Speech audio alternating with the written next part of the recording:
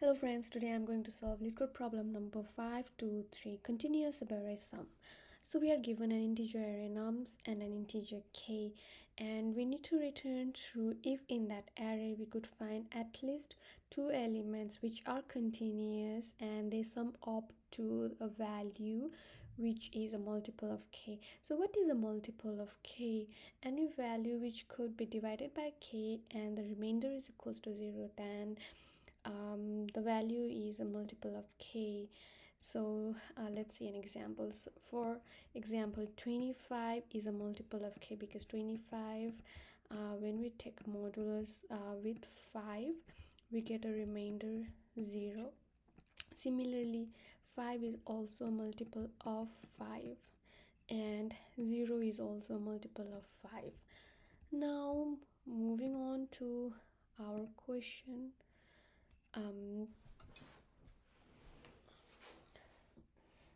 we are given an array and a value. So here our value is equals to 6 and we need to find contiguous sub array which uh, which sum up to you know be the multiple of um, k. And here so we start from our first index which is 23 and then um, since we know 23 is only single element so uh, we need at least two. So we just take a remainder of 23 by 6 and then we know the remainder is equals to 5 right? So we store it some we store it in a dictionary or a set and then we add a 2 to our um, running sum. So 23 plus 2 is equals to 25 and we know the remainder is equals to 1 right? So we store these two and now again uh, we move on to the next element which is 4 and then we add it to 25 so we get the value 29 and when we take the remainder with 6 the value is equals to 5 now here you can see the remainder 5 we already um, you know um, receive the remainder 5 when we uh, were doing our operations uh, previously right? So this means that uh, we could actually uh, uh, get um, a multiple of 6 if we subtract the first element the element until this position uh, from our um, running sum. So we subtract 23 from our running sum and then we receive our element. So how is actually we getting how are we actually getting this? So see here uh, we are receiving a 5 um, remainder because this is 5 greater than a multiple of 6 which is 18 right? So 18 plus 5 will give us um, 18 plus um, 5 gives us 23 and uh, we actually need a multiple of 6 so if we subtract 5 from 23 we get an 18 which is a multiple of 6 now we receive a 2 again. So our uh, running sum becomes 25 and the remainder is equals to 1 and um here now um uh, 25 25 is 1 greater than 24 which is a multiple of 6 and we either need a 24 or um, or 6 plus any um, any n times the value of 1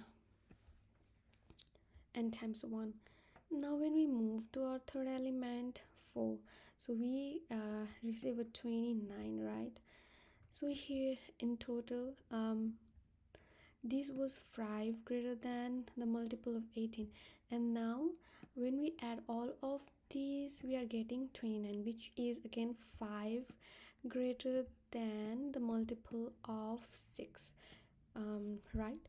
So when we uh, so when we subtract this we are actually subtracting 18 which is a multiple of 6 and 5 which is not a multiple of 6 so when we subtract 5 uh, from this 5 we're actually getting a 24 and then when we subtract 18 which is a multiple of 6 it will still be a multiple of 6 so this is how we actually uh, uh, get our answer. So now let's start coding. We create we first of all check if the length length is less than or equals to 1 and we just return false because it should be at least 1 the contiguous sum let set equals to new set. Running sum equals to 0 and then let okay uh, now for let n of nums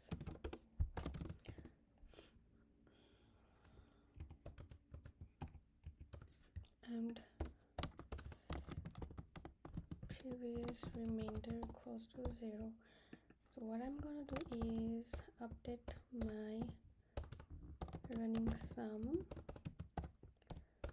and then see if set has the running sum.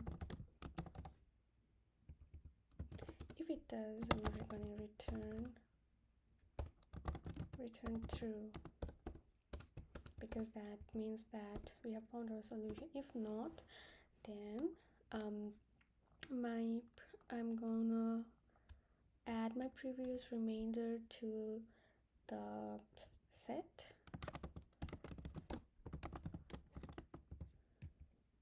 And then my previous remainder is going to be updated to the current remainder. Okay okay i'm so sorry we need to actually check for the remainder.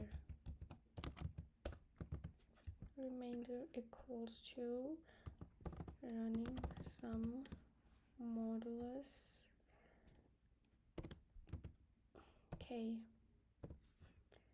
And then we need to see if remainder is actually you know we already have that remainder.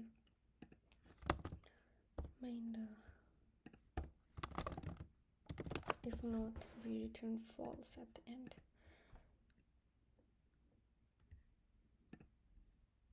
So the time complexity of this uh, solution is O of n because we are uh, looping over n times and the space complexity is O of n as well